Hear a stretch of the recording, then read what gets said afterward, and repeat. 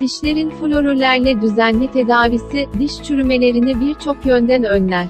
Florürler, minerallerin tükürükten emaye içerisine yeniden birikmesini teşvik eder.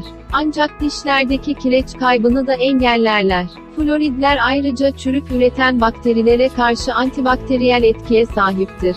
Dişlerinizin uzun süre sağlıklı kalmasını istiyorsanız, diğer şeylerin yanı sıra floride ihtiyaçları vardır. Görünür olduktan hemen sonra, çocuğunuzun süt dişleri, çocuklar için günde bir kez az miktarda florür içeren diş macunu ile fırçalanmalıdır.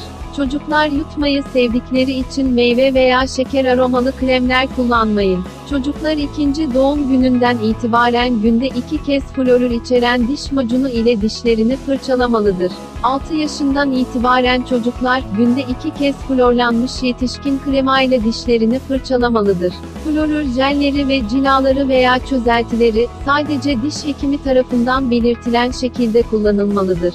Bu konuyla ilgili sorularınız varsa, lütfen pratikte bizimle iletişime geçin veya randevu alın, size yardımcı olmaktan mutluluk duyarız.